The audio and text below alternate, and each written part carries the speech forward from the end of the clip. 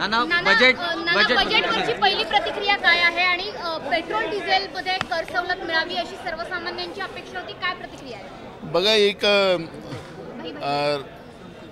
मी आज अजित पवारांनी जो बजेट जाहीर केला तो खऱ्या अर्थाने महाराष्ट्राच्या जनतेला न्याय देण्याच्या दृष्टिकोनातून घेत केलेला बजेट आहे. एकीकडे केंद्र सरकार केंद्राच्या प्रॉपर्ट्या विकून देत चालवत आहे.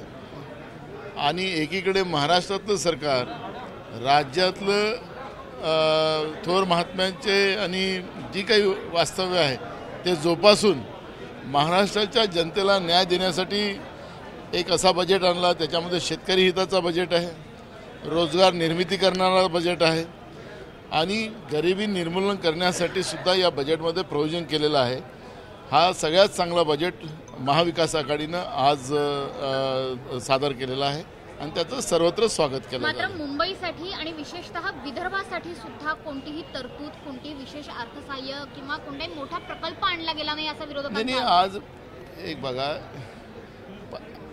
घोषणा हा भाजपचा एक मूळ पेशा राहिलेला आहे आज जी काही सरकारजवळ पैसे असतील त्याच्या आधारावर सरकारने आपली भूमिका मांडलेली जेवढी चादर असेल तेवढंच पाय पसरलं पाहिजे.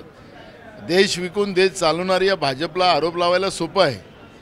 पण आज राज्य सरकारमध्ये ज्या पद्धतीनं कोरोनाच्या या पेंडॅमिकच्या नंतर आणि ज्या पद्धतीनं केंद्र सरकारच्या जाचक व्यवस्थेमुळे जी महागाई वाढली त्याच्यामुळे सर्वसामान्याचं कंबड मोडलेलं आहे. आणि म्हणून जे काही पैसे आहेत त्या पैशातून राज्याच्या शेतकऱ्यांना काही योजना म्हणजे आपण पाहिलं असेल की आरोग्य व्यवस्थेमध्ये मोठी सुधारणा. कारण पेंडॅमिकच्या नंतर जी काही परिस्थिती झाली त्या परिस्थितीमध्ये अनेकांचे जीव गेलेत.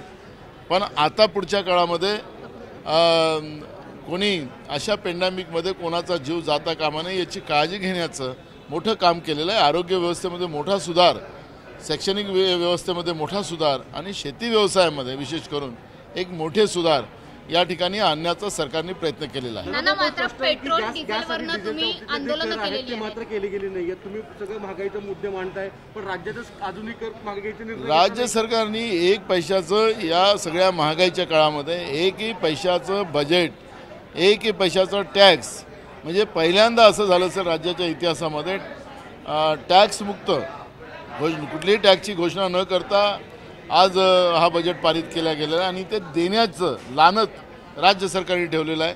केंद्राने त्यांचा जी एस टी कमी करावा तर आपोआप ही सगळी महागाई कमी होईल. पण राज्य सरकारने त्या पद्धतीचं कुठलाही टॅक्स न लावता ही भूमिका टाकलेली आहे. राज्याच्या जनतेच्या हिताचं हा बजेट आज राज्य सरकारने सादर केलेला आहे. नाना भाऊ काही ठराविक जिल्ह्यांपुरतं मर्यादित असं हे अर्थसंकल्प असल्याचं असल्याची ओरड आहे आणि काही काँग्रेसचेच मंत्री नाराज होऊन परत गेले. असं त्यांच्या त्यांच्या खात्याला थोडेफार कमी पैसे मिळाले असतील त्याच्या पद्धतीचं ते म्हणत असतील. पण जी काही राज्याची आर्थिक परिस्थिती आहे त्या आर्थिक परिस्थितीच्या आधारावर हा बजेट सादर केलं गेलेलं आहे आणि या बजेटचं सर्वत्र स्वागत केलं जातं. ऊर्जा विभागाची यापूर्वी सुद्धा खरं तर तक्रार होती की निधी मिळत नाहीये पुरेसा वसुली होत नाहीये वीज बिलांची त्यामुळे. आजच्या बजेटमध्ये कसं बघताय? कारण कृषी पंपांची जरी वीज जोडणी भरीव तरतूद नाहीये. काही पैसे त्यांनी दिलेले आहेत. पण शेतकऱ्यांच्या शेतीपंपाच्या सबसिडीचा प्रश्न असेल.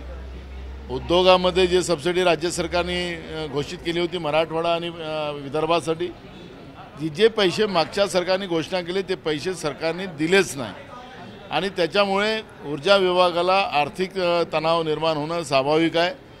आणि म्हणून आम्ही त्या दिवशी पण एक लक्षवेधी लावून आम्ही राज्य सरकारला सांगितलं होतं की मागच्या सरकारने केलेलं पाप असेल पण कृषी शेतकऱ्यांच्या शेतीपंपाचं पैसा असेल किंवा औद्योगिक जे मराठवाडा आणि विदर्भासाठी जे औद्योगिक जे शे उद्योगासाठी जे काही ऊर्जा विभागाला सबसिडी दिली होती ती राज्य सरकारने तातडीने द्यावी जेणेकरून ऊर्जा विभागाला अजून जोमानं काम करता येईल आणि पैशाच्या ह्याच्यानं एबीपी माझा उघडा डोळे बघा नीट.